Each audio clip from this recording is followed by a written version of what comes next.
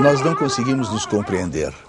Nós vivemos do passado da religião, patriotismo, racismo, pecado original, o pecado original da alma. Nós somos socialmente errados.